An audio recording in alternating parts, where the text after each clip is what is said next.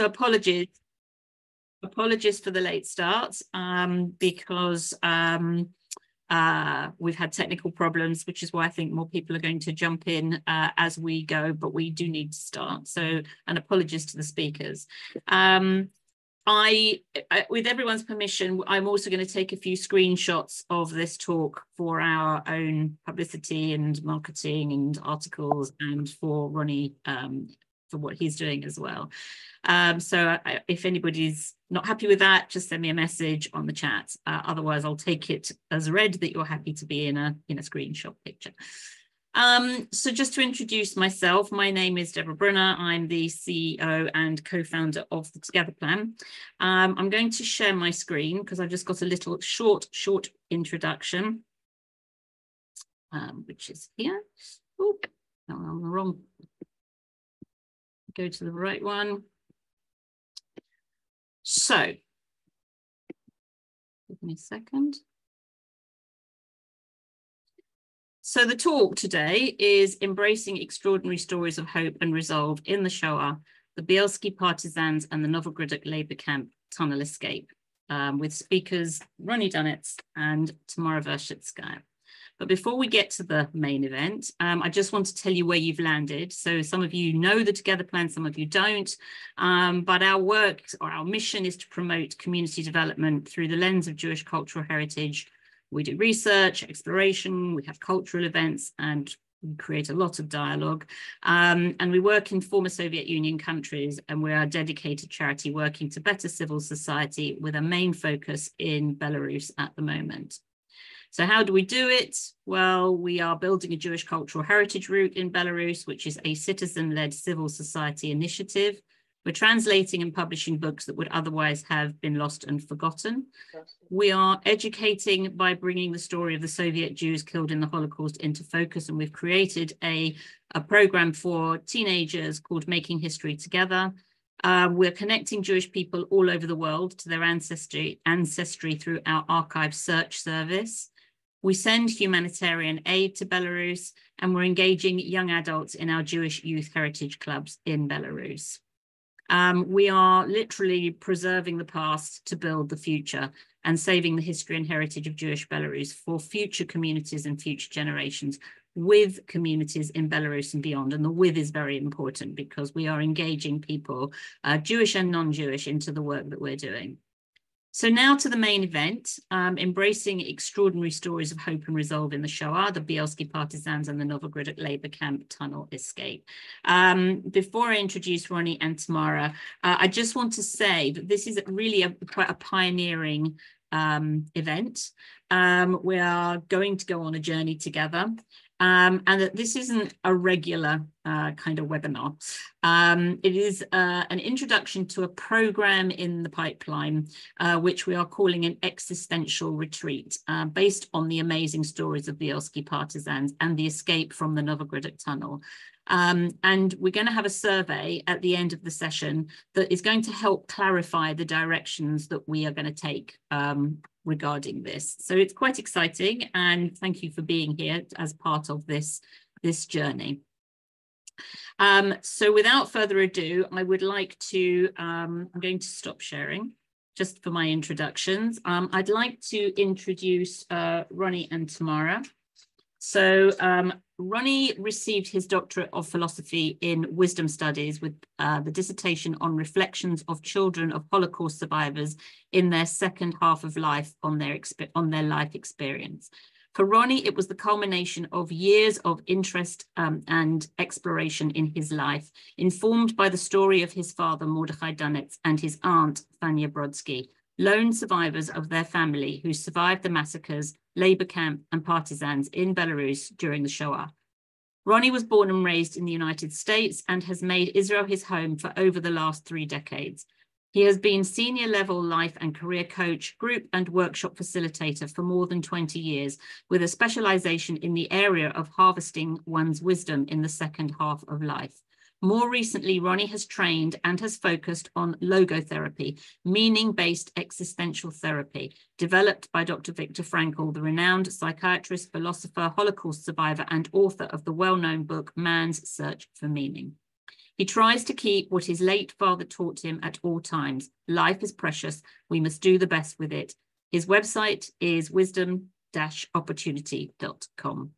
Um, and Tamara Vershitskaya uh, Tamara is based in Belarus. She is a researcher, translator, founder, and curator of the Jewish Resistance Museum in Novogrudok, Belarus, and is the Jewish Heritage Specialist at the Together Plan.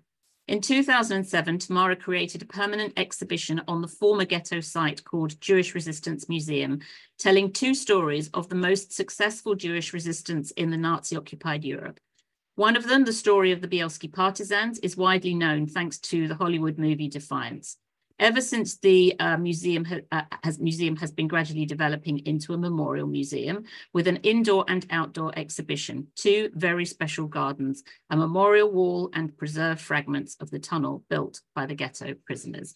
Without further ado, I am delighted to hand over to Ronnie. Hi, thank you. Thank you, Deborah. And thank you everybody for your patience uh, with our technical difficulties here, but we shall prevail. And that's why we're here to talk about amazing stories and amazing things that are happening right now. So uh, I want to mention, just to start off, that I did a presentation here for the Together Plan in, in March, following the, uh, the receipt of my uh, doctoral dissertation, doctoral degree. And it was very emotional for me because the first time I had given that presentation after receiving my doctoral degree um, it was it was emotional for me because as a second generation, I felt it was my duty to talk about what I learned that second generations feel when they're older and looking back at their life. But today I'm doing something even more personal. I'm talking to you about a program that I had in mind and I shared with Tamara. I'll tell you how I did it some months ago. And I think it's an amazing program. And I hope we can we can get it off off the ground soon called the Existential Retreat. But first, a few personal words here. So I have a, I have a personal connection to these stories. My father uh, was born in Belarus. He survived the Holocaust in a place called Zhetel, Jatlava. And uh, he was in the labor camp with his sister, Fania, who's actually Betty's mother. Betty's my cousin. And they entered this labor camp in Novogrudok after experiencing the massacre of the family, my grandparents, uncle, aunt, and thousands of other Jews at the time. The labor camp was a story in itself, and I'll mention a few words before we talk about that later here.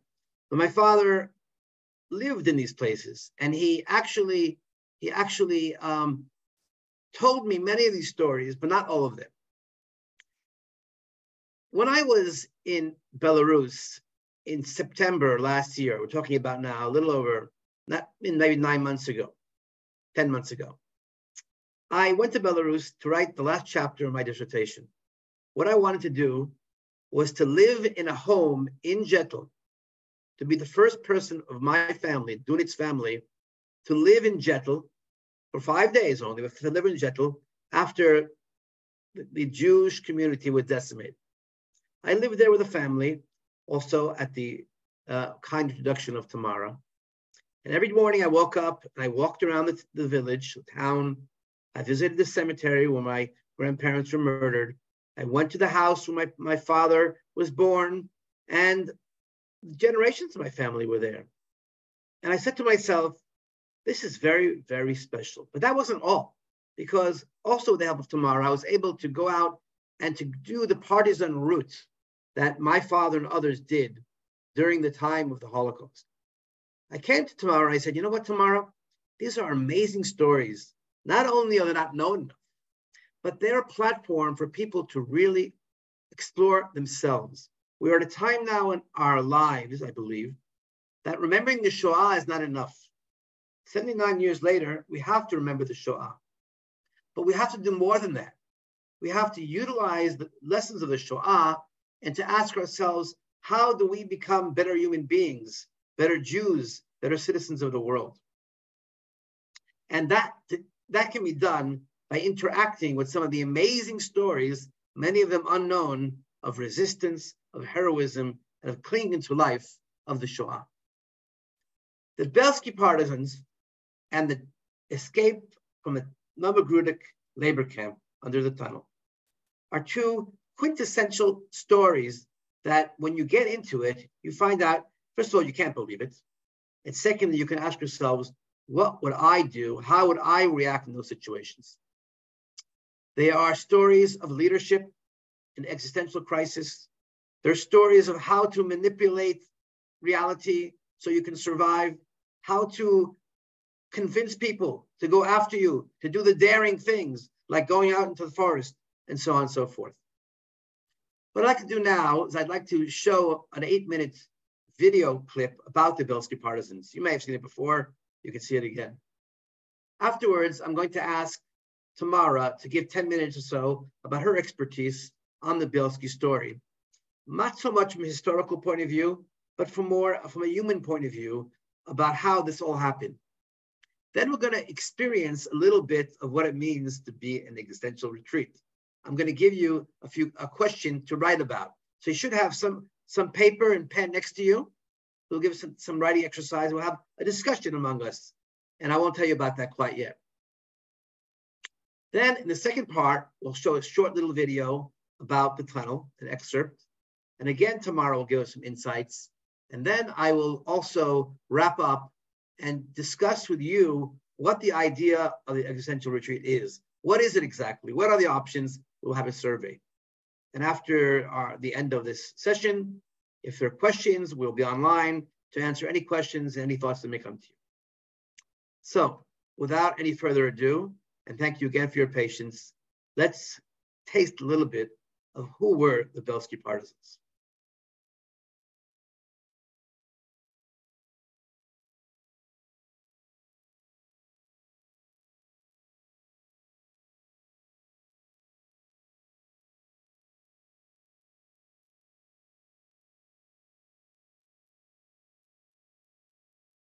Are being here with our sons, daughters, wives, and grandchildren, say to Tevye and the Bielski Brigade, but for your heroism, but for your courage, but for your resolve to save our lives, none of us would be here today.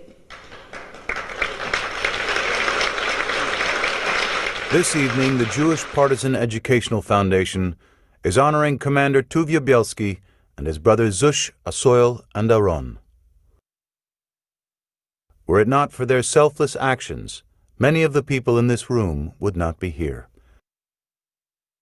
The family's story of survival and defiance is remarkable in itself, but the fact that they saved 1,200 people along the way is truly incredible.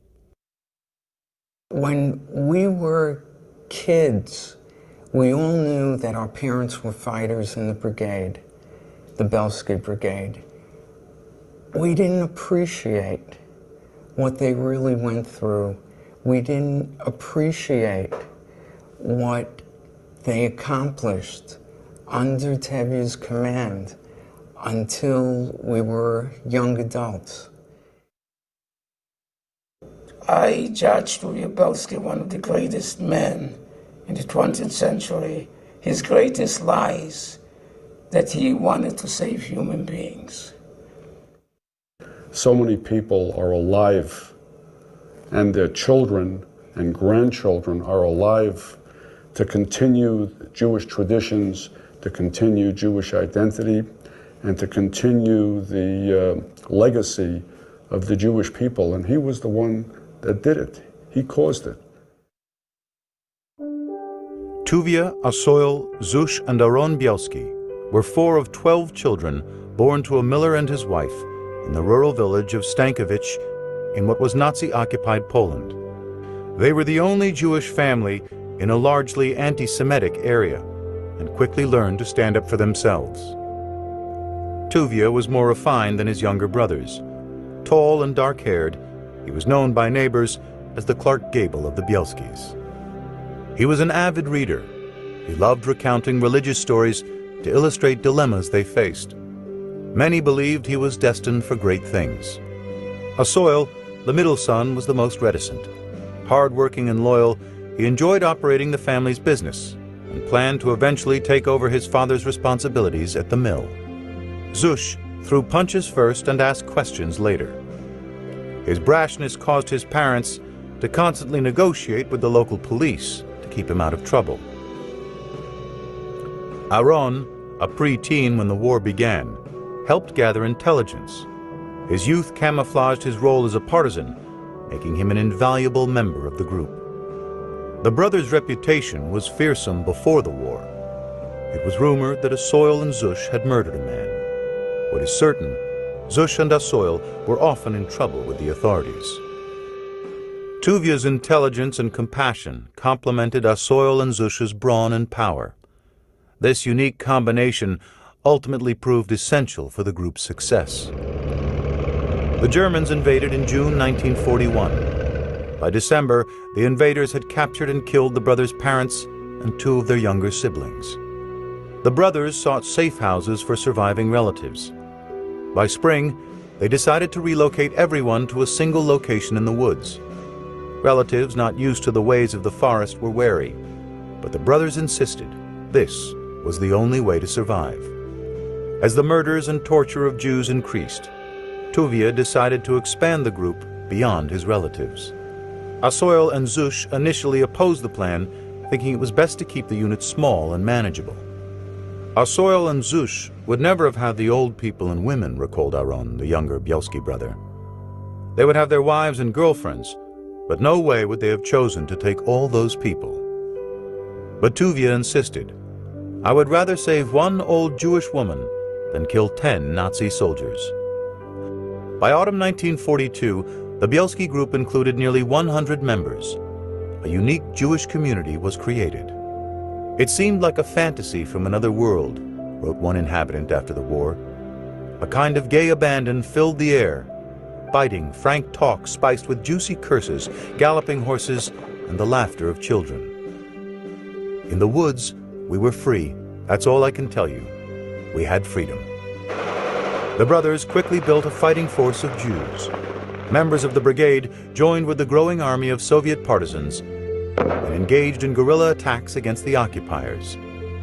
It was satisfying in a larger sense, Tuvia wrote of the first attack on the Nazis, a real spiritual high point. The world should know that there were still Jews alive, and especially Jewish partisans. With Tuvia as commander, Asoil as deputy commander, and Zush as chief of reconnaissance, the brigade's strength and reputation as a military outfit continued to grow. The young fighting men, a minority of the overall Bielski population, spent long nights obtaining food, sometimes stealing it from the local peasant population to feed the growing Otriad. The brothers knew that the group needed to be feared if it had any chance of surviving in such a hostile environment. To that end, they sought out and executed Nazi collaborators. By the end of the war, the group was 1,200 strong, living in the relative safety of the Soviet partisan-controlled woods. Tuvia had brokered an ingenious relationship with the Soviet partisans, who needed clothes mended, weapons fixed, and other tasks that the Bielski Otriad could easily manage. Their camp was known as Jerusalem in the Woods, a permanent Jewish partisan settlement with a metal shop a bakery, a soap factory, a mill, and a tailor shop. The unique story of resistance drew the attention of Hollywood when director Edward Zwick came across the Nechama Tec book Defiance. Directed by Zwick and starring Daniel Craig, the film showed mass audiences around the world the Jews did fight back and cemented the Bielskis' extraordinary place in history. The Jewish Partisan Educational Foundation with the help of Paramount and director Zwick, developed a hugely successful curricula based on the film. More than 1,200 educators have gone through JPEF's Teaching with Defiance program, reaching more than 250,000 students. Tuvia Bielski, with his brother's help, orchestrated the largest rescue of Jews by Jews during the Holocaust. Nearly 20,000 are alive today. Children, grandchildren, and great-grandchildren the Bielski brothers' legacy will never be forgotten.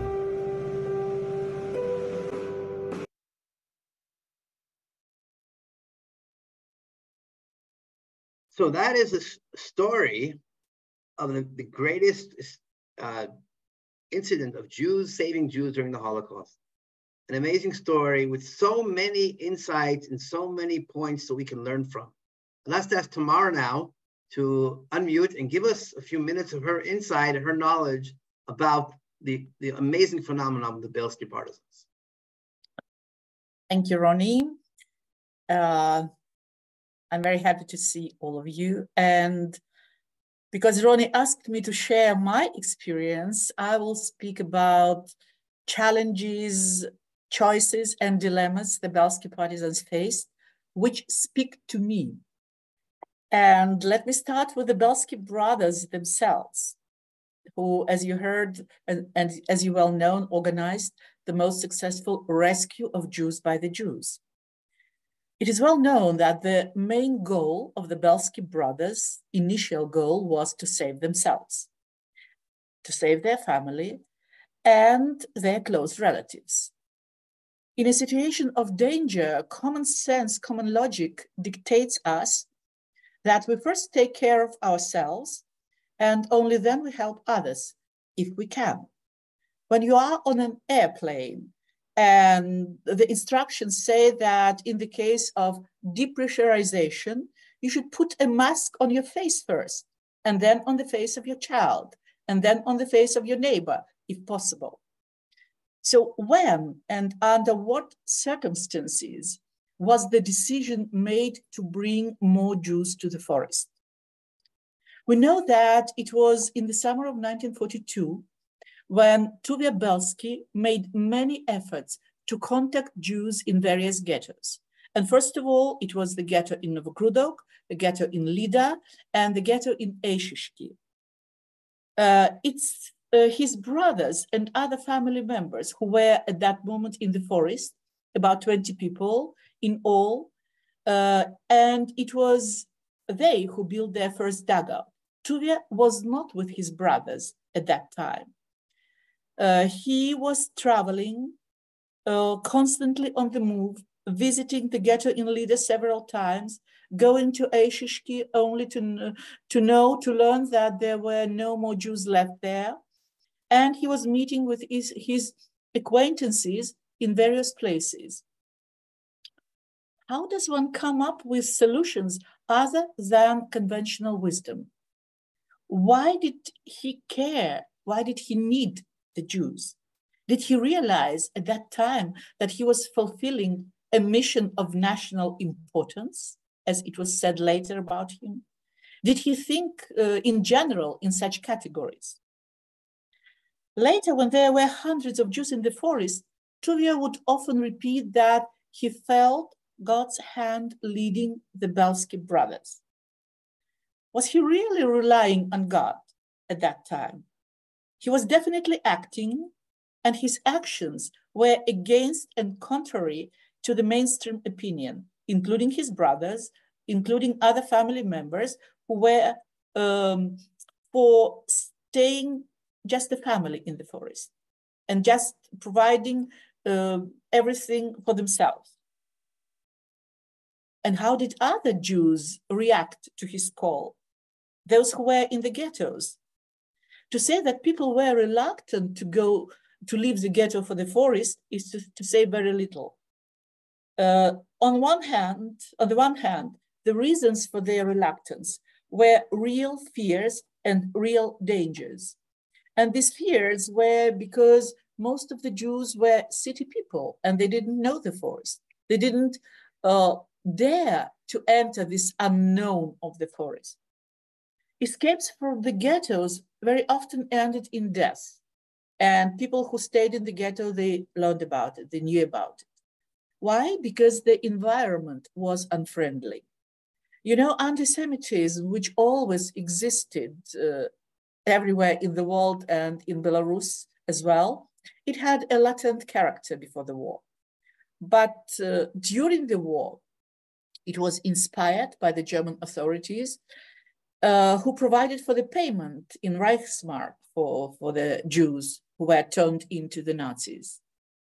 And hunting for hunting of Jews was not a one-time occasion. And the forest provided shelter to various categories of uh, former Soviet soldiers who were hiding there and who stayed on the occupied territory after the very quick retreat of the Red Army in 1941. They lived at the expense of the local population, mostly villagers. Some of them were bandits, some of them were anti Semites. So the dangers were real. On the other hand, leaving the ghetto meant leaving behind older family members, uh, which sooner or later uh, were meant, were sentenced to imminent death. And many survivors could not enjoy the freedom in the forest, knowing that their family, uh, their loved ones are still in the ghetto. And many felt guilty after the war, till then, the rest of their life, that they were not able to save their parents, their brothers, their sisters.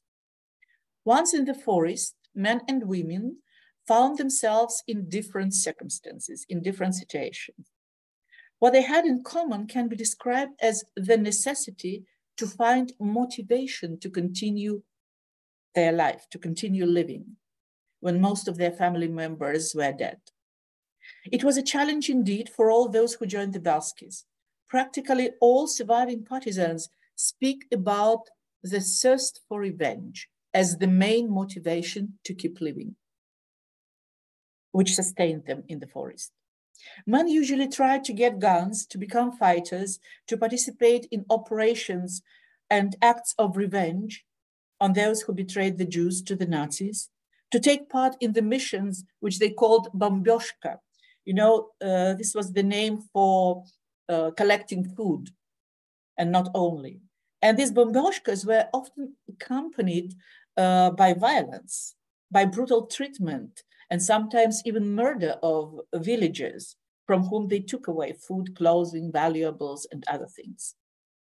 When workshops were set up in the forest, as you saw from this video, and people with professions could work according to their trades, and when different services were so, uh, set up, such as a soap factory, a bakery, a tannery, a bathhouse, a, a common kitchen, and a number of others, people uh, who worked there, they felt more uh, important and necessary.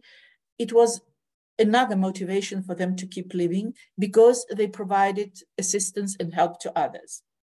These workshops in general became a hallmark of the Bielski detachment, and it played a decisive role in keeping the whole detachment intact when the higher partisan command wanted to disband it and disperse among non-Jewish partisan groups. And uh, everybody who participated in the life of the camp, like guarding the camp, for example, which was a mission and an obligation of everybody, uh, they still tried to find a permanent occupation because it equaled to being needed and contributed to the common goal. And in its turn, it gave more sense to people's lives in the forest. The need to be useful was also motivated by the desire for better conditions, better food, and hence the struggle for power, rivalry, and the fight for women. You know, there were 330 women in the forest in the Bielski detachment and twice as many men. The women were dependent on men, of course, and they needed protection. Common to both categories was a feeling of loneliness, which grew stronger and stronger. And with few exceptions, all the younger men and women got married in the forest, and they had a special term for it called tavo, these marriages. Uh, the, the initiative usually came from a man but the decision was always left with the woman. So uh, very often the woman said yes for reasons other than love. And the few who remained single uh, for their own reasons, they felt unhappy, struggling for survival in the forest. The wish to improve one's living conditions, to take a better position or to be responsible one's own life and control others reigns supreme in the forest, just like it does uh, in normal life. The doctors who were offered better conditions, respect and protection by Russian commanders, they faced a dilemma to stay with their own people or uh, to leave for Russian partisans, which some of them did. Tuvia, for whom the value of Jewish life was higher than revenge against the Nazis, when faced with the problem of maintaining order among seven or 800 people in the forest, he faced with a dilemma. Let the troublemaker live or end the problem by taking a Jew's life. And they had a prison in the forest. Uh, and in a few cases, the punishment was death. But even then, Tuvia Bielski tried to convey to everyone that the law is above all and everyone had to obey. What was the law? The question is. It was a matter of his very firm personal position. While accepting every Jew, Tuvia gave everyone freedom to choose where to stay with the Bielskis or to look for a better place, for a safer place. Once the choice was made and the person decided to stay with the Bielskis, uh, Tuvia demanded to listen and do what he said. From the very beginning, since they became a detachment and he was elected a commander, he did everything to keep order because this was the main point of survival, for their survival.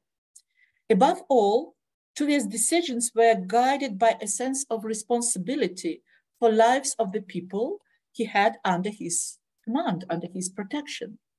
No one and nothing were allowed to jeopardize the safety of all. Dovkolin, a former Bielski partisan, once said, the decision and actions of Tuvia Bielski, his brothers, and those who supported them were of national significance. Was it recognized on, on the state level? No.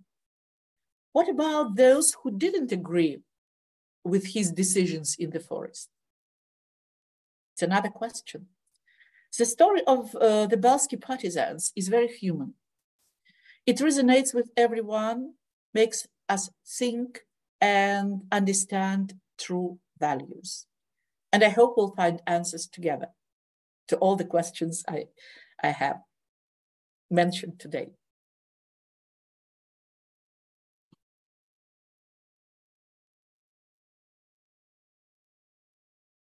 Ronnie, Ronnie, you're on mute. Thank Yes, you, Ronnie, Tamara. you. Sorry about that. Thank you, Tamara, for all that information and that interesting um, insights. I want to recap for people who may not really understand the whole story very well. Okay, I'm going to be in very, very short terms. We have three brothers, the Lobelskis, who decide to leave, not to go into the ghetto, as all Jews were there, and they were being massacred once again after the other time, over time, and to go into the forest, where for most Jews was a fearful place to be, because there were wild animals, they were thieves, there were rapists, there were anti-Semites, and there were lots of hostile neighbors and Germans nearby. And in the forest, they begin to build a resistance group, which at first they keep small because they wanted just the family members. And then they build and they build, and eventually they come up to 1,200 Jews. Now, understand, please, what this means to go to the forest, to bring Jews out into the forest, is a tremendous act of bravery. And also, these Jews are not used to being in the forest, and they don't agree with one another, and they don't have weapons. The many of them are women, they're children, they're elderly. And the three brothers have some discussions, some arguments. Two brothers say, we don't have to take all these people who are not fighters. We should be fighting the Nazis and fighting the others, and we should not take on these civilians. And Tuvia said, the very famous quote, I would rather save one old Jewish woman than kill 10 Germans, German soldiers. Eventually, as Tamara said, this camp went and grew. They had to they had to go deep into the forest and swamps. If you ever seen the movie Defiance, you'll see that Moses going into the forest. And in the end, a tremendous amount of people were killed and they owe their lives to them. Now, the reason why I wanted to recap that is because what I'd like to do, and I hope this works, so you'll need to participate with me if it's going to work. Because we are not just talking about the history here, but it's an introduction to what we were going to call the existential retreat. So I'll talk about shortly. I want to ask you to reflect right now on a question and a story of the story I, we just told you here. So I'll give you a few minutes and I'd like for you to write some thoughts down and then we'd love to hear from some of you what you think. Uh, so let's take, I'll just share my screen here.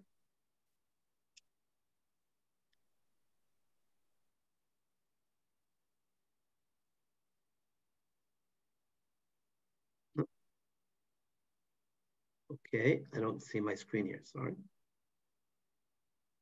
One second, please.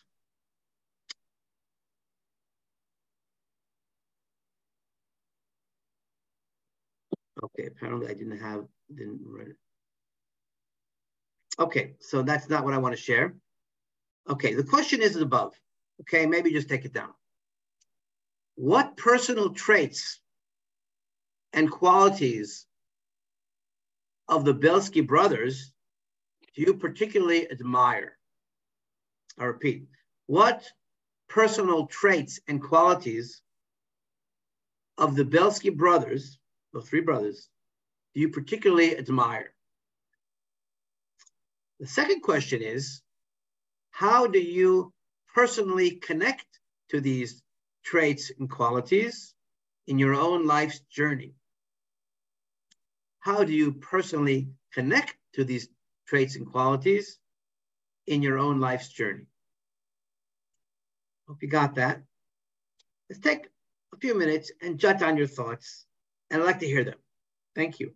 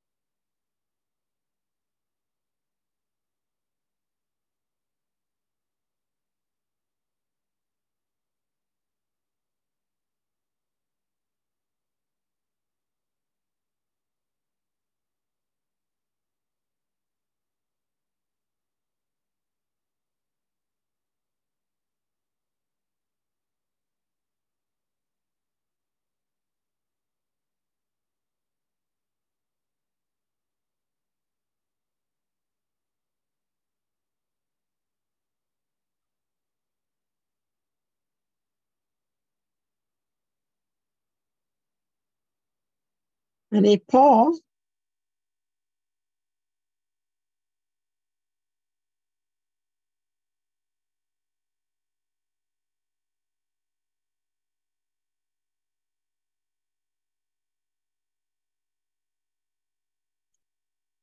Take about another minute, please.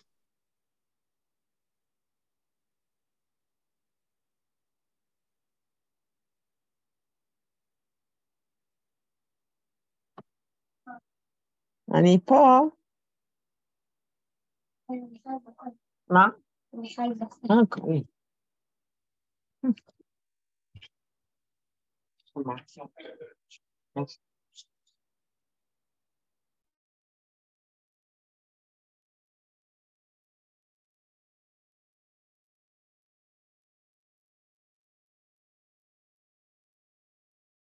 Okay, let's come back now.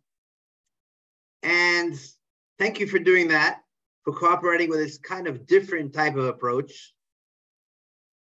I'd love to hear from you. Just raise your hand and share with us briefly. What, what is it that you found exceptional? And how does it connect to your own life's journey? So uh, who wants to go first? Susan and then and then Betty. Susan, please.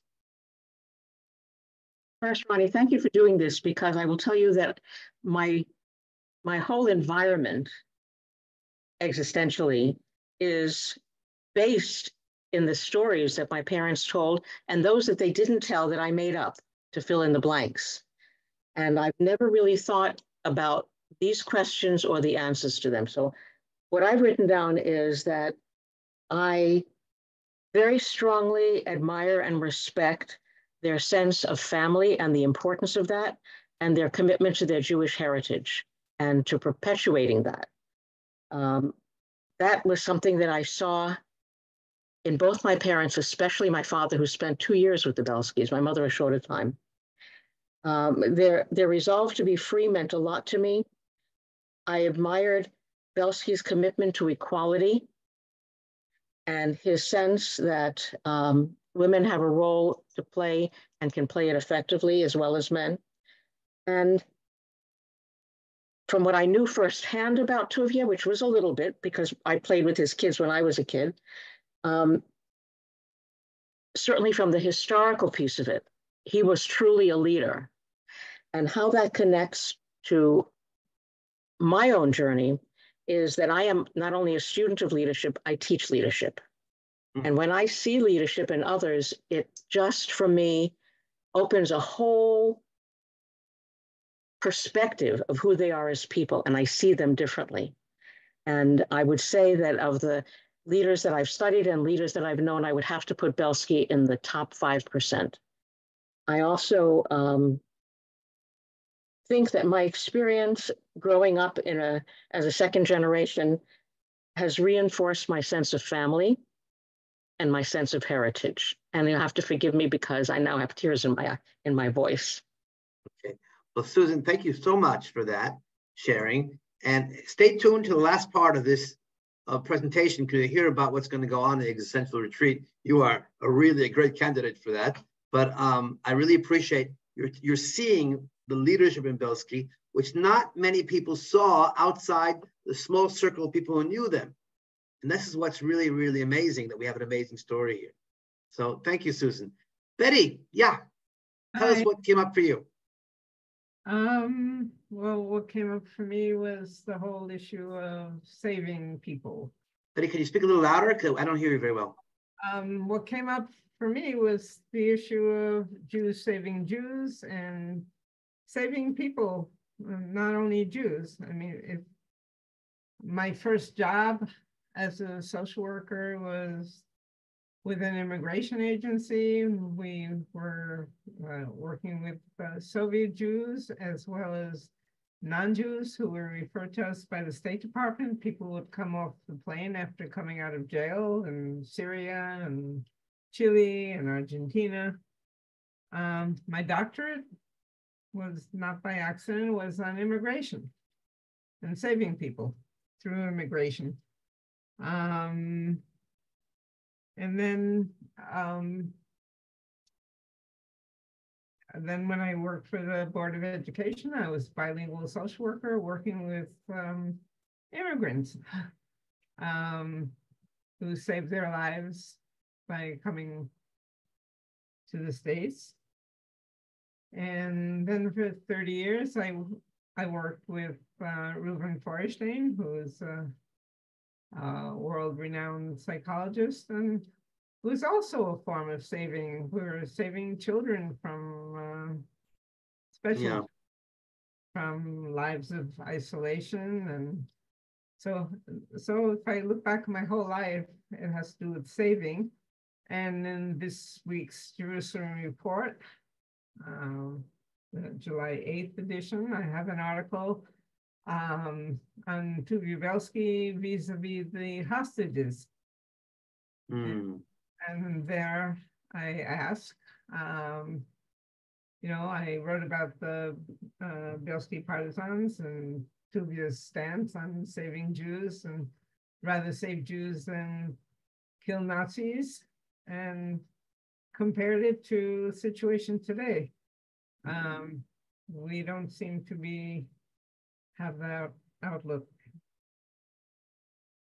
Thank you, Betty. Thank you for those words. And saving people as a as a motif is a very deep, deep process. And I appreciate what you just said and all the things you do, obviously, as well. I'd like to invite someone else, one more person, if we can. Um, what came up for you, even if you're not all that familiar, maybe with the story, uh, we'd love to hear you if you're up for it. Any takers? Oh, there you go. Linda, can you uh, uh, just unmute? You gotta unmute, Linda. That would help. Um, hi, everybody. I just wrote down the personal traits and qualities that I admire in them, and I have to say I really admire them. It was their courage and bravery, their resilience, their innovative thinking, their determination to survive and help others do the same, their no qualms in killing if needed. Um, they didn't want to do it, but they knew they had to do it, and their ability to lead and lead others to safety. How do I personally collect with these traits and qualities? I don't think I could compare myself to them in any shape or form, apart from the fact that I think I am resilient and I have a bit of courage every now and then. Thank you, Linda. I appreciate that. And stay tuned for the rest of the program here, because I think it'll be up your alley as well. Thank you very much for that. Anyone else? Okay, right. So I would like to put a little music on, uh, a partisan song that you may not know, actually from the Vilna partisans, but it's the same as far as the milieu, the energy of the music. So let's have a, a hear here.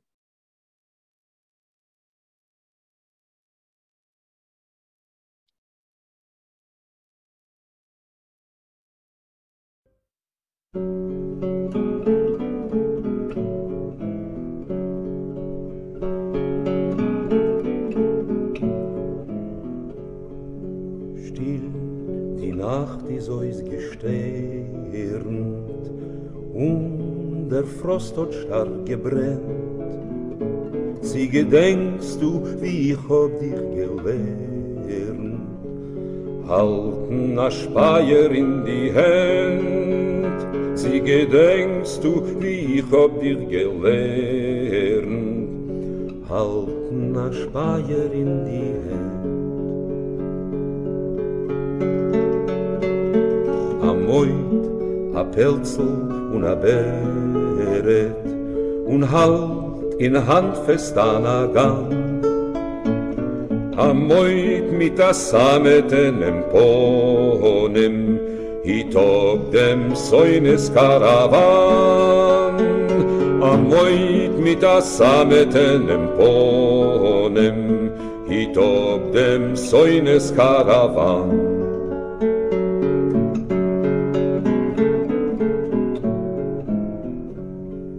gezielt, geschossen und getroffen.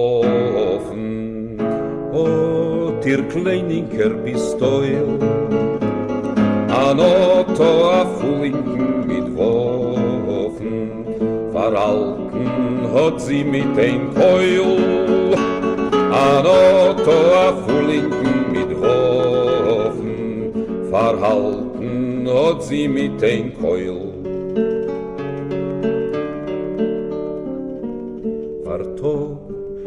Wald a Reus gekrochen, mit Schnee girlanden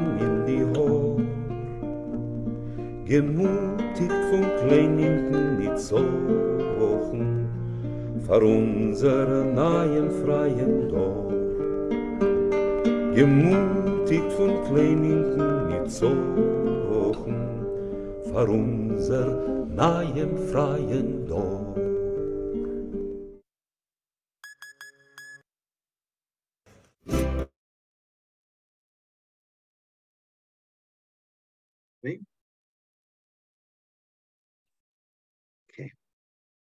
Well,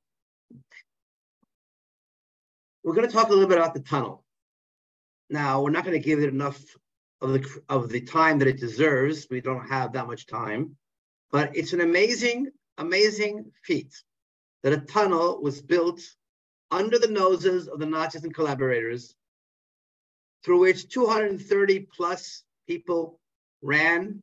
Betty knows exact number, it's changing. Over half of them survived.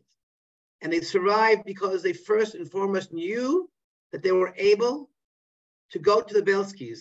There was someone waiting for them in the forest who would not kill them, who would not defeat them, who would not betray them. I have a personal story here, two personal stories. The first is that on May 7th, 1943, there was the fourth massacre in Novogrudok.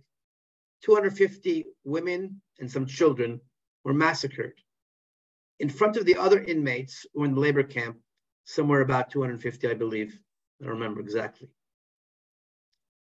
And on that day, those who were left in the labor camp, who had this vision, hope, illusion that they will be able to get out alive, they said, no, we're not going to get out alive. Just a matter of time, the Nazis are going to kill us too. And one of those people was my father, Mordechai Dunetz.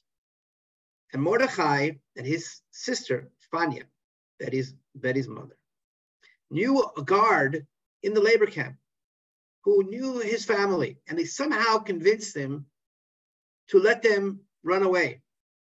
I won't go into the whole story here, but the guard said, I'll let two people run away.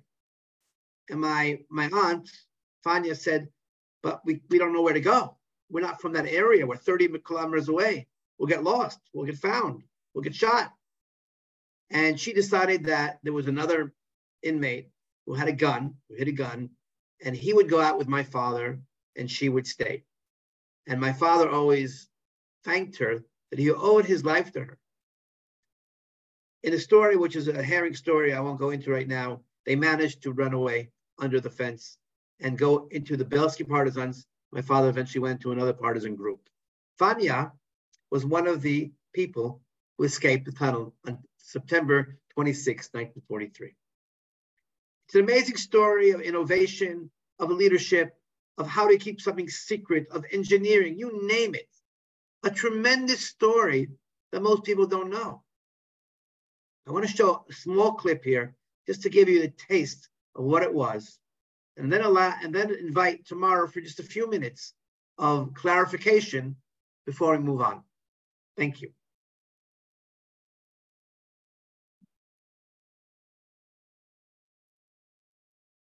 I want to make sure there's volume, okay? Work on the tunnel began in the second half of May 1943, a couple of weeks after.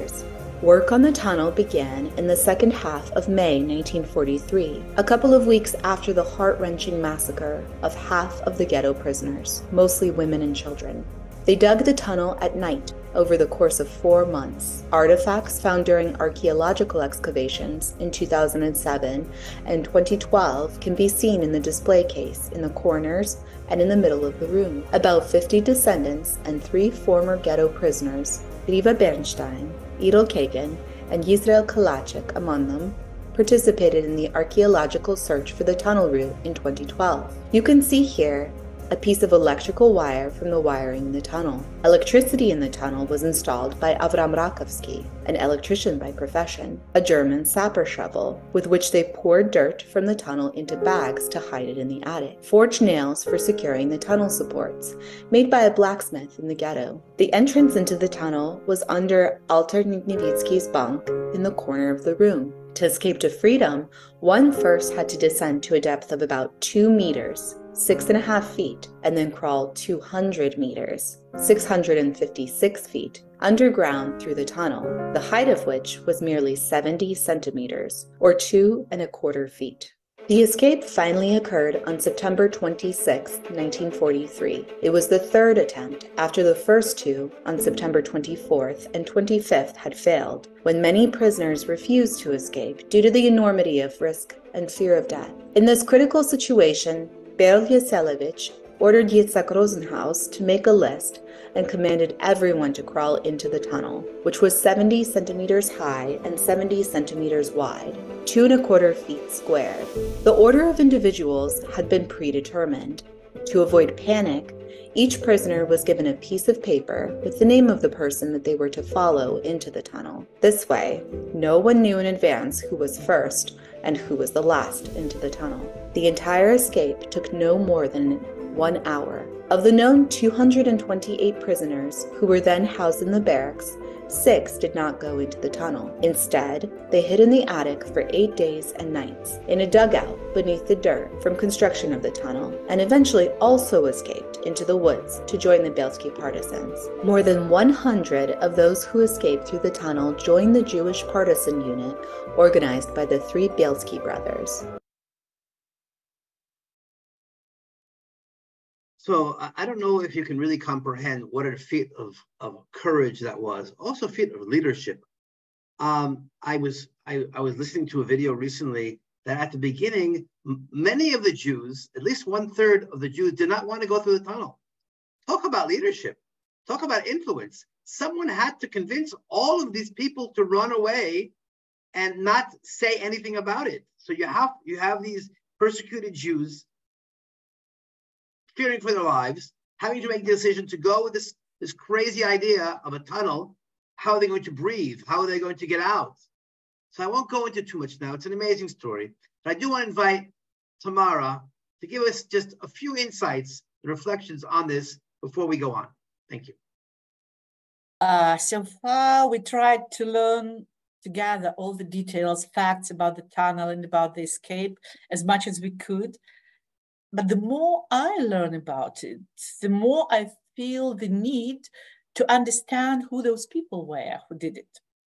You know, uh, from a technical point of view, it was an engineering feat, as Ronnie said.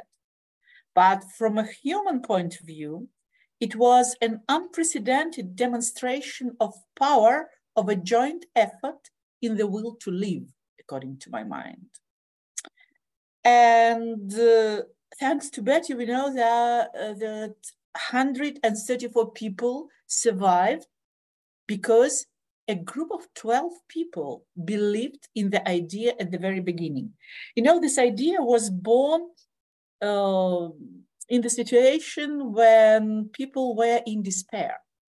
In despair because there were no more ghettos practically left in Belarus and they knew that their end is near. Uh, those who survived, 134, very few of them left their testimonies.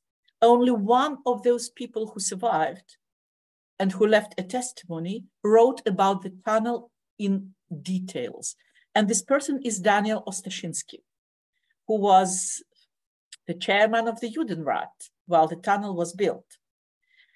And only one person, Jack Kagan, who was a teenager and who survived thanks to the tunnel. He uh, presented this story or revealed this story to me, and he helped me to build a museum uh, of Jewish resistance, we call it, at the ghetto site.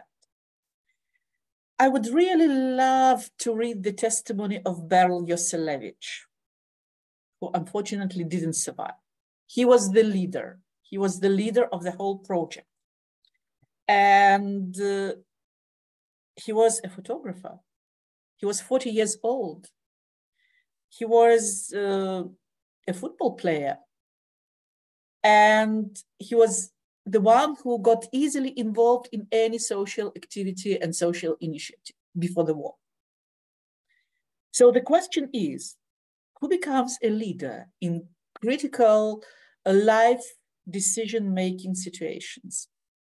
He lost all the family in that same last massacre on May 7, like most of, the, of those 12 who joined him in this initiative of the tunnel. He wasn't the smartest of all. He was uh, part of the underground resistance group, but he wasn't the leader. The leader was uh, Dr. Cohen, who was a member of Poale a person with political experience or with experience of leadership, but he didn't believe in the idea of the tunnel. He didn't believe in the idea of the escape. He refused to control this whole project with the tunnel. Beryl Yoselevich, who supported and perhaps initiated the previous attempt when they planned to uh, throw a couple of hand grenades into the room where the guards were stationed and just run away. He grabbed this very chance, you know, to do something. And uh, he really found support uh, among very, very few people at the beginning. But what they managed to do, they managed to make it, this a tunnel for everyone. And uh, uh, they saved people, some of them, they saved some people against their wish and will. So this is incredible uh, because Beryl really controlled everything. He organized everything. People who, who took upon themselves certain tasks that was the organizational committee and the tunnel diggers, uh, people who uh, solved uh, problems with the tunnel, like bringing air inside the tunnel, like uh, hiding the earth from the tunnel, or, or, installing lighting in, inside the tunnel when they didn't have electricity in the barrack. He took care even uh, about every detail of the escape. Uh, a list was made before the escape. Everybody knew uh, whom to follow into the tunnel. They gave even a try before the escape to people who were not sure they could make it. So everything was under control. So how was it possible? In the situation of apathy, disbelief, and suspicion, why risk your life for others when they don't want your help? And by the time the tunnel construction began, uh, all these people had uh, lost many or most of their family members. So uh, they didn't rely on anyone. They couldn't rely on God even, not, not on themselves. And most were unwilling to do anything at all out, uh, out of apathy and fear of uh, making things even worse. So uh, the construction of the tunnel became an open secret, as they said. Uh, everybody knew about it, but everybody had to keep it a secret, which meant uh, that they watched, everybody watched everybody, and nobody believed anybody. And they were watched by the guards. They were watched by Jewish spies. They had two Jews in the ghetto who were, one of them was Mendelssohn, who was appointed, appointed by the Germans as a Jewish commandant of the camp. And he lived in a separate room. And the other one was just a Jew who was uh, infiltrated by the Germans in the labor camp because the Germans suspected something was going on. Uh, and he was, they discovered that he was a spy. What, what could they do with him? Just to kill him. And they killed him and buried somewhere in the cellar of the courthouse building where they had their workshops. In fact, there was no trust in the ghetto. And the person responsible before the Germans for keeping order, for keeping Jews under control, was that same Daniel Ostashinsky, who remained the only uh, person from the Judenrat alive in the ghetto. And there was Salak Yakubovich, the only Jewish policeman in the ghetto. And because they were part of resistance, and Salak Yakubovich appointed tunnel diggers, that was his job uh, in the tunnel committee. Uh, and Daniel wrote in his testimony so many details about the tunnel. Uh, I really believe that they were part of resistance because uh, otherwise they wouldn't have known all these details. In his testimony, Daniel Ostashinsky uh, gives an impression that it was his mission uh, to balance the German administration and the Jews while they were digging the tunnel. And people probably knew about it, but nevertheless, when everything was over and he survived the escape, they wanted to kill him when he uh, came to the Bielskis because many people had a grudge against him for what he had to do. So uh, the dilemma of people who were in Jewish administration of ghettos, in Jewish police in the ghetto, moral dilemmas were obvious. but they they had to comply, you know, with the demands of the Nazis. So how do you get the enemy on your side is a question, because uh, in many ghettos, uh, the uh, Jewish administration were against resistance and they tried to put an end to every attempt. There are several known cases, you know, when the guards helped the Jews. Ronnie mentioned the escape of his father, which was facilitated by a guard. And there were several others when they helped, known cases, when they helped with food, they helped with uh, weapons, with ammunitions, be, uh, beside escapes. It is hard to believe that with the daily rations of 125 grams of bread, people could build a tunnel. And definitely they needed extra food, and they definitely got it in various ways, through the guards, of course. Uh, at least two survivors, Mot uh, Motel Dunetz and Fania Dunetz, proved that. And with Fania, it's a very absolutely unbelievable case because Fania stated, I heard from her several times, uh, when she was very, very confident, when she said that Wilhelm Reuter, who was the German commandant of the camp, saved her life four times. And this Reuter was anti-Semite people hardly could hardly raise their eyes and look at him. And Fania was not afraid to ask him in German, because she could speak German, why do you kill Jews? Why do you kill people? She asked him in German. And he saved her for lives, for times. So I have questions. I hope we will find answers together again. Thank you, Ronnie, please. Thank you, Tamara that's such such an amazing story. Well, we're coming down to the end of our program here, and I promised you, and I really, it's, I really would like your cooperation. I'll tell you a little bit about what is this existential retreat idea about anyway. Then we'll have a survey and the anthem of the of the, the partisans, and then we'll open it up to questions here. So here are just a few slides to explain what what is ideas about. So as I said, I think we're we're really ready to learn from the Shoah. When I use the word existential, I'll talk about a second. I'm talking about reflecting and questioning and learning about the lessons that people experienced during the Shoah. We heard the word leadership many times here. We heard the word choice. We haven't heard the word hope enough, and we should hear it more. But in an existential retreat, you deal with a lot of inquiry and reflection from all different angles you actually share stories. We were there together with people. We all have our stories. Believe me, if we're second generation, we have plenty of them. But even those who are not second generation, they have their own stories to share with others. By being inside of this type of experience, you build an authentic connection to these stories and it helps in your legacy that you leave behind to your children and grandchildren. So, what is this word existential anyway? Well, it's a word a lot of people don't, don't understand, but I use it in terms of saying life under existential givens, where you have definitions like your mortality, you know, you're, we're here, we're going to end our lives one of these days, uncertainty, risk, fear, trust, but also about really being very clear about our values and dreams and meaning our lives. Existential is about talking about choice, choices on an individual basis and a collective basis, and responsibility. And it's also talking about hope.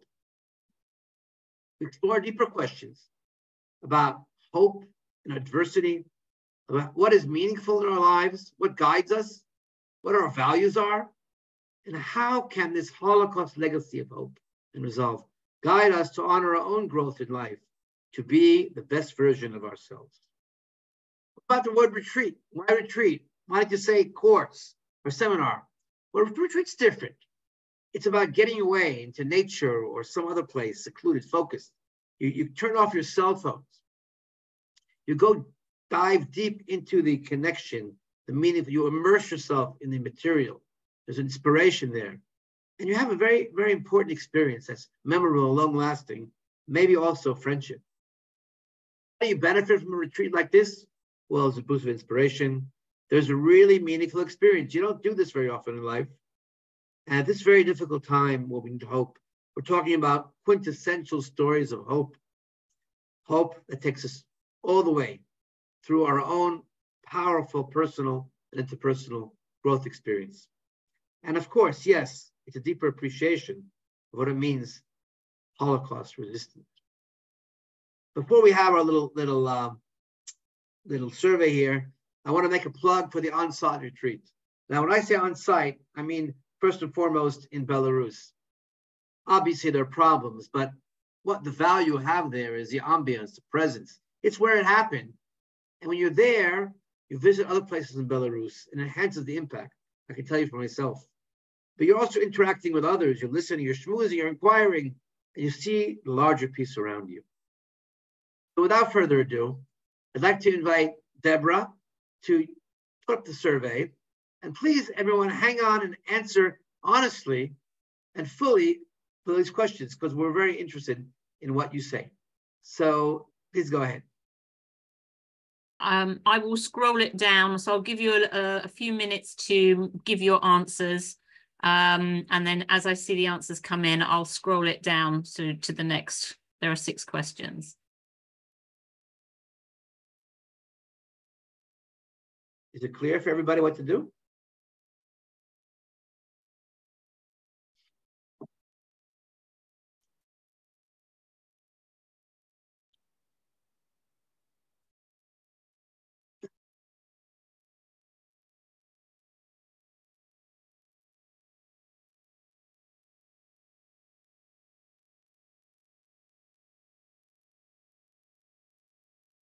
So if you can vote on these different choices, we'd really appreciate it.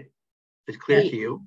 Ronnie, we, I can only see choice one and two and the beginning of choice three, so I can't respond.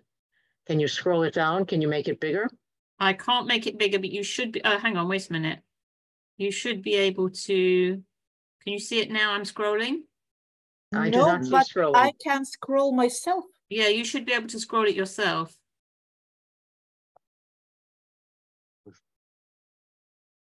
Yeah, you just take. I the- the cannot, cur- The cursor. oh, hold on. Uh-huh. Maybe my technology is out, out to lunch. Okay, you're doing it. Just scroll down and hit the numbers. Yes, no, maybe.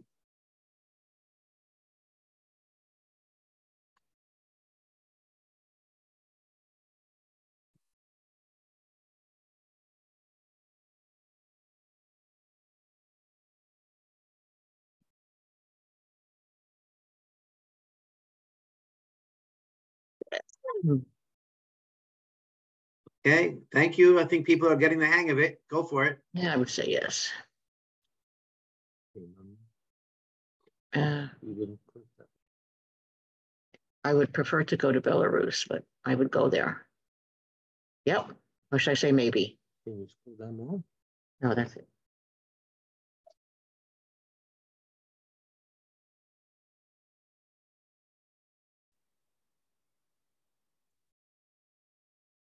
Okay, I hope you, the rest of the people can do it. Okay, six of 11, we're getting there.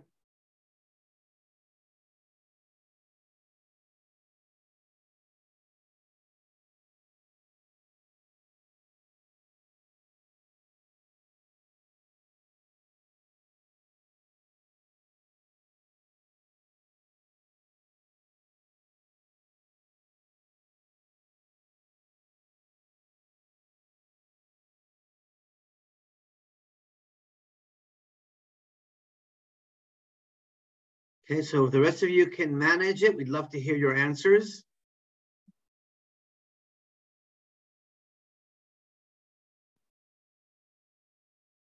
Ronnie, while we're waiting, I, I'd like to make a comment. Would you, would it not be distracting? Uh, I think you can go ahead. Go ahead. Yeah, sure. Okay, so maybe it's two years ago that I got a call from Batya, who talked about my uncle, and I must admit that I was very surprised because I'd never heard any pieces of that story. What I really want to focus on is not so much that part, but the part that over the last two years, in a sense, I've had my own existential experience because I've come to realize how much of the stories that I were told were things that I heard And then how much of the stories that I now believe are pieces I filled in Is and put together. And so really, thank you, Batya.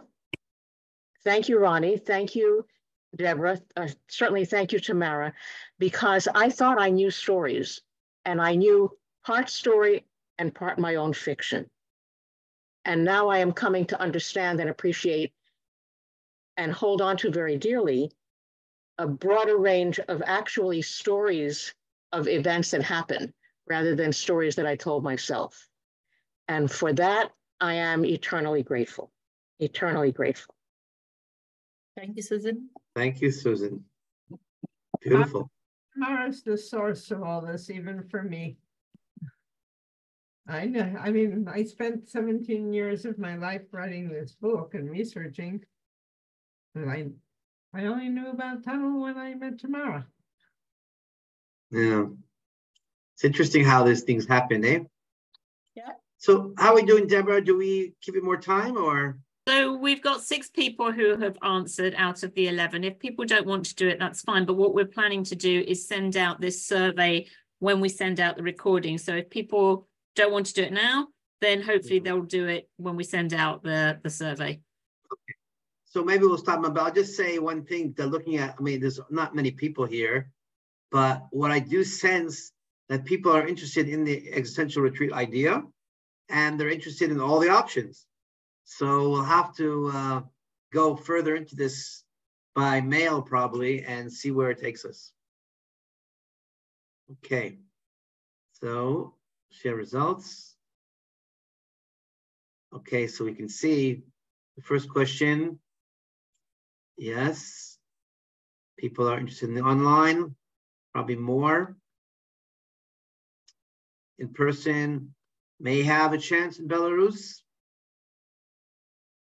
In the US, also there's a, a lot of interest there. And Israel, maybe also there. And in Vilnius, more or less the same.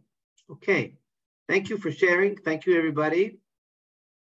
I'm going to stop now and we'll end up this part of the program with the partisan uh, anthem that is, has really come to represent the history of the partisans, the history of resistance, and uh, let's hear it in its in its Yiddish form with English translation.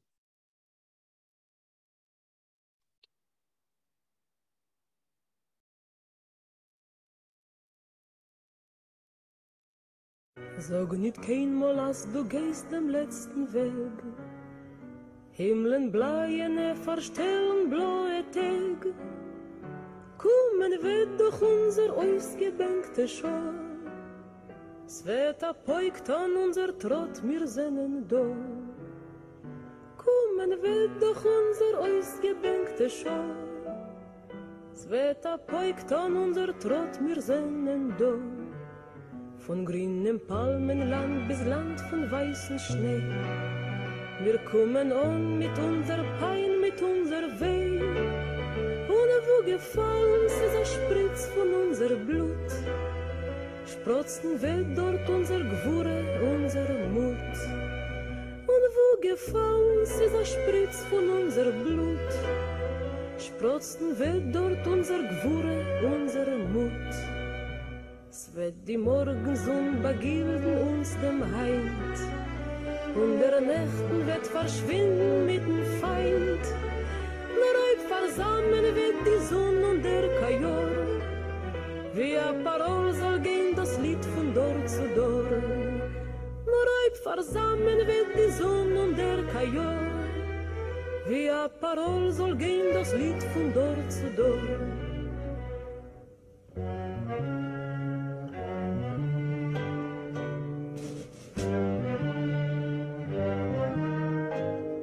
Das Lied geschrieben ist mit Blut und nicht mit Blei. Es ist nicht kein Lied von a Fegel auf der frei. Das hat a Volk zwischen fallen dicke Wind. Das Lied gesungen mit Naganes in die Hand.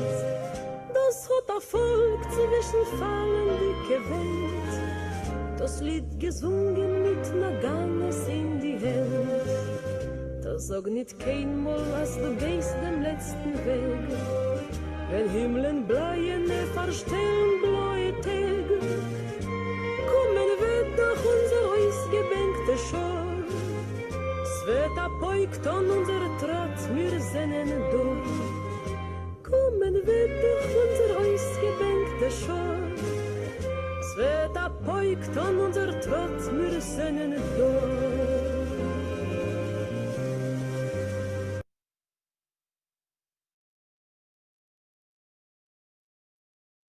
Okay, well, thank you, everybody.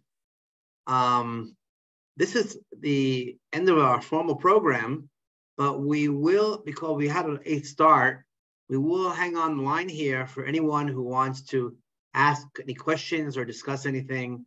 But if you need to leave, feel free, and we'd love to hear your questions or comments if you have.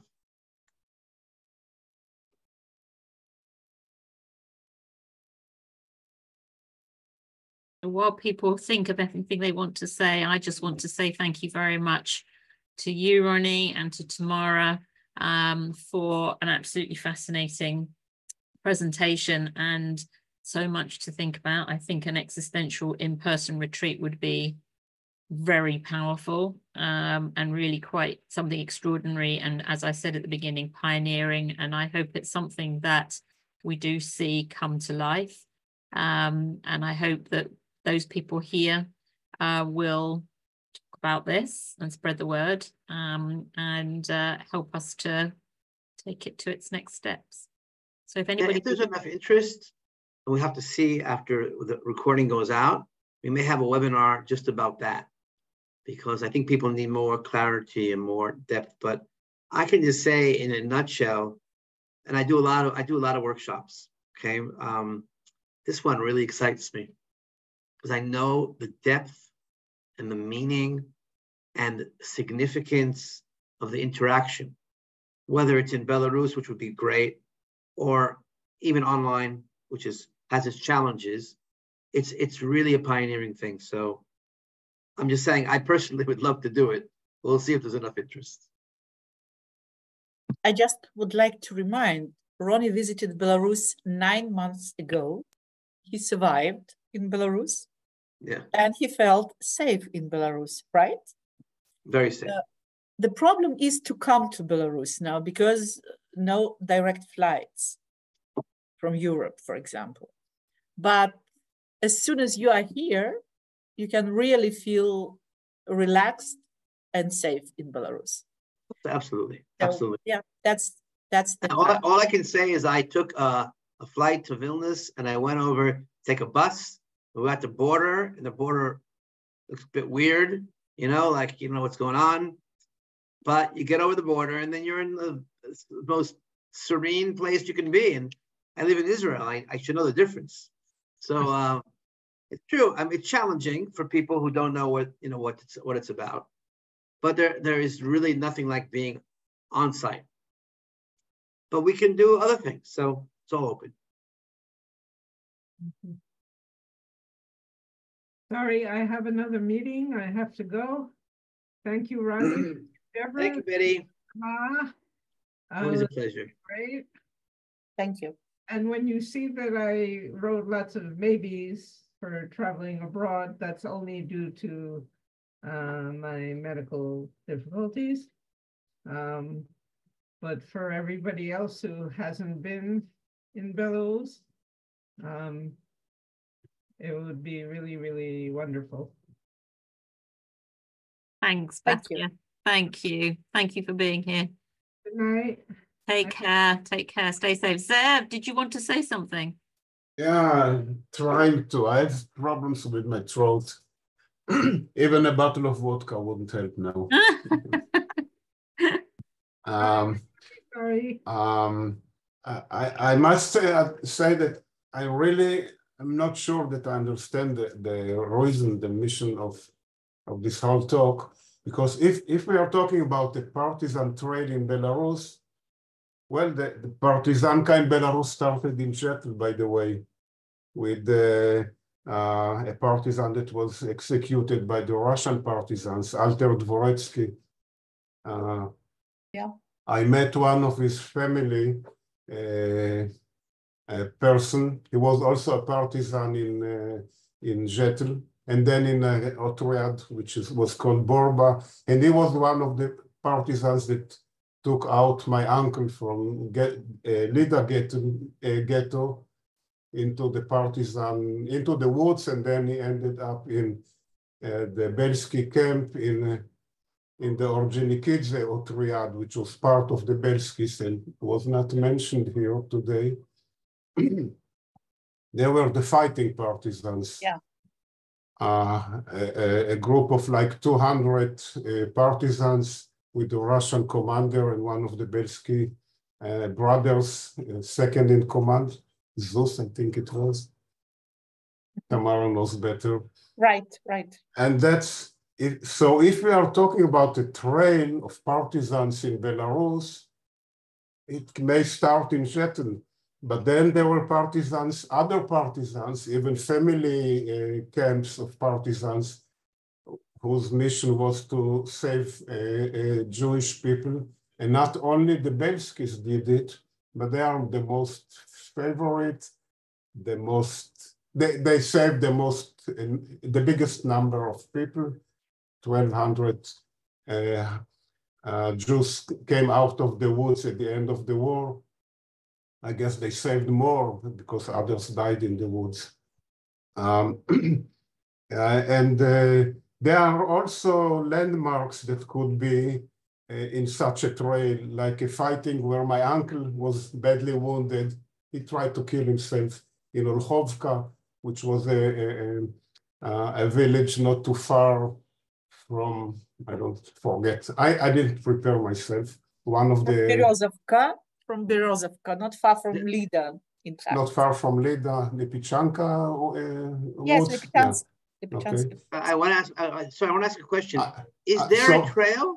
Is there a trail today? A partisan trail? Oh, no, there is no trail, but I, I, I thought I, that I understand that the mission of this uh, meeting is to, to think or to prepare or do things about it- such a trail uh, and not concentrate only on the Bielskis and the Novogrudok, Novogrudok uh, tunnel, but do it in a much larger scale.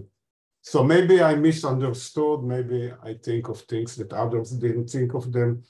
Uh, I can tell you about a partisan by the name of Moshe Beirech, uh, whose mission in the Bielskis was to take gold from the woods and buy salt, which was a very necessary uh, material to, to buy.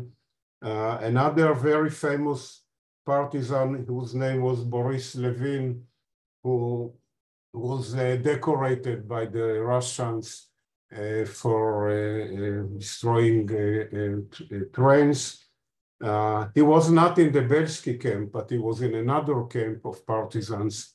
And there are many, quite many uh, uh, partisans who took part in the war, in the wars, in the war, in the in the wars, indeed, uh, in Belarus, which may have a commemoration just as well as the Bielskis.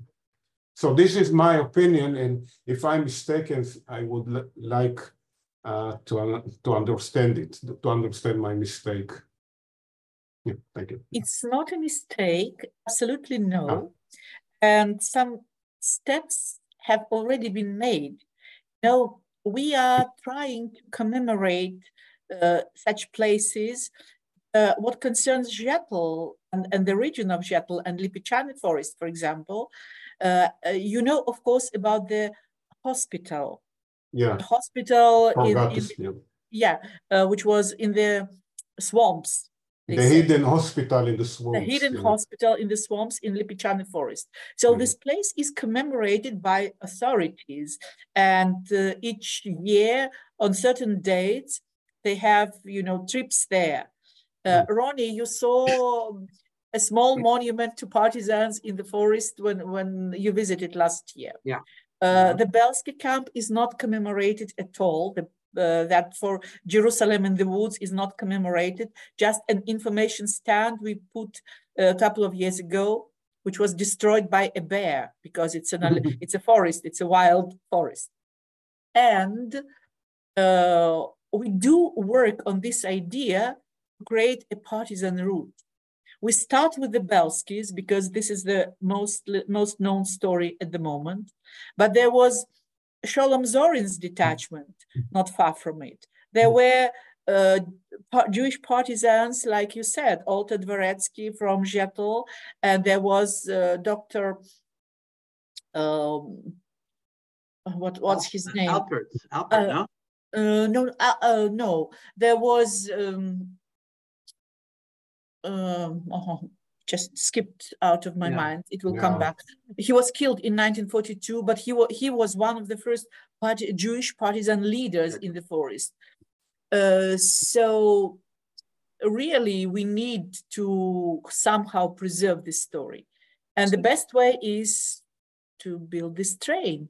We'll start with existential retreats here in Belarus, and then local people will know learn about it. So can, if I can, if I can add in here. Yeah. So, um, so this is a, um, let, I'm going to fast forward, um, in time.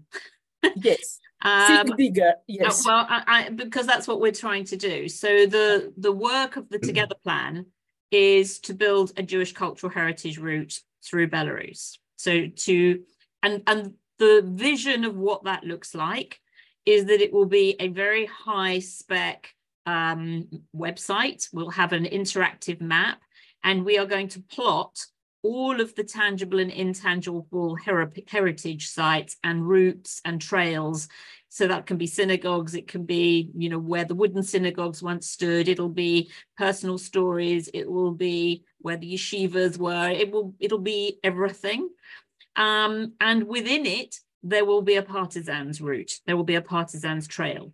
And we'll be able to plot pin drop on this all of these places so that when people travel to the country they can go on this route. They can go and visit these sites. They will have an audio tour when they get there because we're creating audio tours.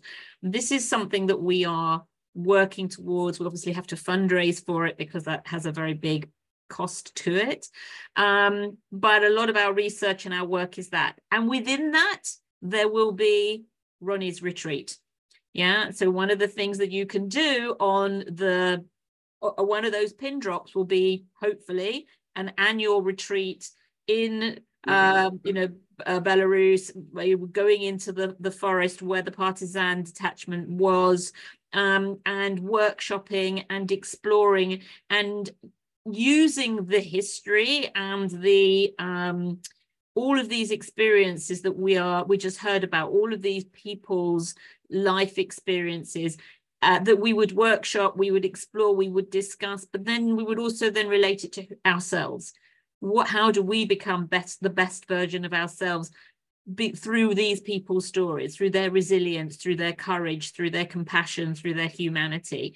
Um, and that's what this is all about but that's what we have to that's why the coming together of these people um ronnie tamara myself uh you susan all of us who are here um are that we are all part of this journey towards that vision if that makes sense And there is one more very important things, a thing which we will uh, do while doing all this, which you have just mentioned, Deborah.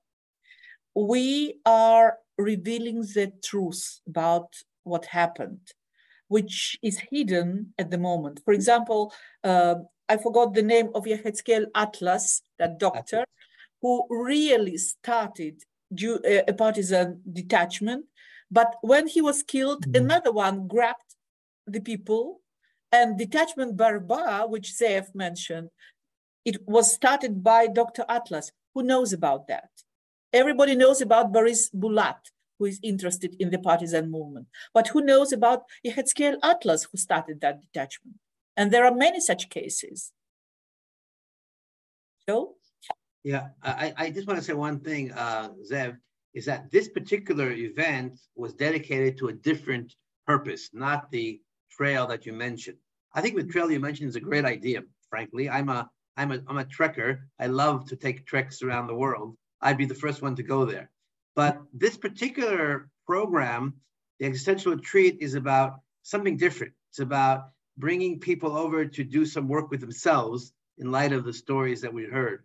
And I can see in my vision bringing over leaders of Jewish communities around the world. I can see bringing in youth gap year uh, kids before the university, the army. I could see bringing in all kinds of second and thir- third and even fourth generation people to come to Belarus to connect. We can do wonderful things over there, and the, and there is so much to do. I mean, there's re- we're really kind of at the beginning, and I think the Together Plan is doing great work, but there's a lot more to do, and I hope we'll get a lot of people involved in, in this project. Absolutely. So thank you. I think we will close because we're over time anyway. Um, so once again, thank you to you for being here. We will be sending out the recording. We will also try and include link to the survey so that people can fill it in and we'll get more people uh, participating in that. And um, we'll keep you updated of next steps. Thank you, everybody. Thank you, Thank you Deborah. Thank you, everybody. Thank you, Tamara. Thank you. Susan, everyone out there. And then we meet again soon. Absolutely. Take care, everybody. Talk to. Bye bye. Bye.